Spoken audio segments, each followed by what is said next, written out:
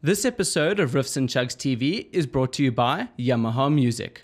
What up, guys? So, in the last episode of this home recording tutorial series, we touched on how to optimize your computer for home recording. So, just some general tweaks that you can make to your PC for home recording. If you haven't watched that video, I will link it down below give it a watch and then come straight back and finish up this video. So today we're gonna look at two things. How to arrange tracks, well, rather how I arrange tracks for home recording, okay? So there are many ways to skin a cat, but this is just how I do it. And then I'm gonna touch on how to install and get plugins working in your DAW. So without further ado, let's swing over to the computer and get cracking.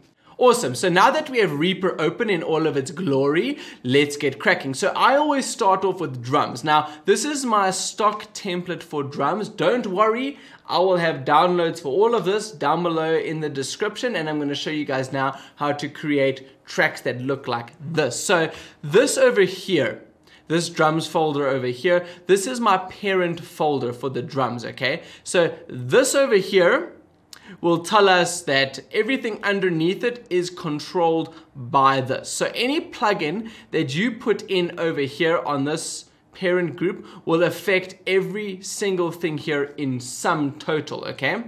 Um, as well as volume, as well as panning. So I usually just center pan the um, parent drum track and then everything else here I will pan individually, but that's for another video. But anyway, so now let's go to adding in our other instruments, okay? So I will go Control T and that'll create a new track. I bring it up to the top and I will call this guitar. Awesome. So now I will create two guitar tracks underneath Control T, Control T, select them both and then drag them up against here. And now I've got two tracks that I can label guitar R and guitar L, and now they are both managed by a single parent track. Let's do the exact same for bass. So open up a new um, track. Let's expand it a little bit, a little bit more. Sweet. And then let's call it bass. Let's add two underneath.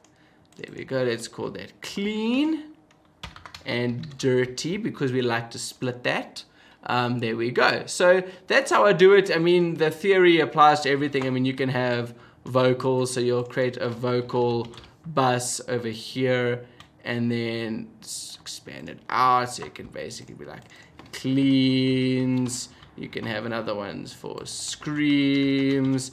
You can have another one for um, let's say harmonies and you can literally go on forever and ever and ever. So then I will sub that into the vocal group. Usually with vocals, I like to just throw it at the top because just makes sense to me. And then lastly, before I finish this part up, I always add one more track, bring it to the top, expand it open like that, and then I will select everything with control A, deselect the top one, grab all of these and I will sum it under one bus that closes and everything sits over here, okay? The reason I do that is literally just for um, organization's sakes. I don't really, um, it doesn't really add much. I mean, sometimes I might throw a compressor on here, um, but yeah, yeah, it's kind of much of a muchness, but yeah. So I will put this up for download in the description. This will only work in Reaper, unfortunately, the template, um, but you can apply this methodology to whatever DAW that you are using. Awesome. Now let's get into installing plugins. So usually with plugins, there are two ways that they they are available for download. You have DLL plugins and you have executables. Now let's first start off with the DLLs. Okay, so before you even think of installing them, you need to know where Reaper is looking for your plugin. So to do that, you can go Options, Preferences, and then you can slide down to VST. So click uh, under Plugins, click VST. Here you can see the folder paths that Reaper is looking for plugins. So C program files x86 VST plugins or C program files Reaper 64 plugins. So let's take this directory over here. Okay, so I'm just gonna copy it, open up run, open that up, sweet. Now I am inside my plugins folder.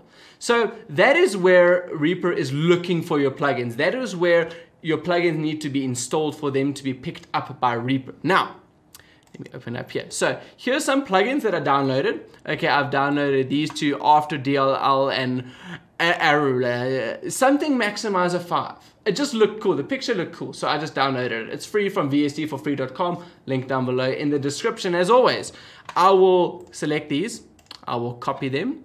I will, whoops, why did I click record? I will go into my plugins folder, see, see program files, Reaper plugins, and I will just paste them in here. Now that they are pasted in here, I will go back to options, okay? I'll go to preferences, VST, and I will just quickly hit rescan. And there you can see it's loading them up and I can select, oh, let's just do it right over here, just for the sake of doing it. Type in after in the filter and make sure you've got all plugins selected and then I can double click on this one and there is the plugin that I just installed. Now, there is a second way that plugins are sent to you, sometimes via executable. So it's an installation package. What you're gonna do is, once again, always check this folder path um, that it's looking for plugins. With Reaper, you can always add new folder paths, so it's actually quite dynamic. But let's just copy this folder path. Let's go back to our little plugins folder and let's use ToneForge Guilty Pleasure as the test subject. Open up the Windows installer. This is from Joey Sturgis Tones. This isn't free, but it's a freaking good amp sim. Okay, so let's double click the executable. Should start, there we go. Let's say next, I accept the agreement. Does anybody ever really read these? I suppose you should, but that's another discussion. next, and then I will paste it. I'll just replace the directory that's stock over here with the one that Reaper is looking for the plugins. Next, and then would you like to install? It already exists because I've actually got it installed. But anyway, you will select, uh, this actually shouldn't pop up if you haven't got it installed. But anyway, I'm not going to uninstall and reinstall, don't want to break things. But this is important. You'll finish it like every other installation and then you'll hit rescan again. And then you'll open up a effects tab over here and say tone forge and there we go. There is my tone forge guilty pleasure. That easy. It's literally that easy to select effects over here and just add a plugin. It's really that easy. I actually do it right now. There's Tone Forge.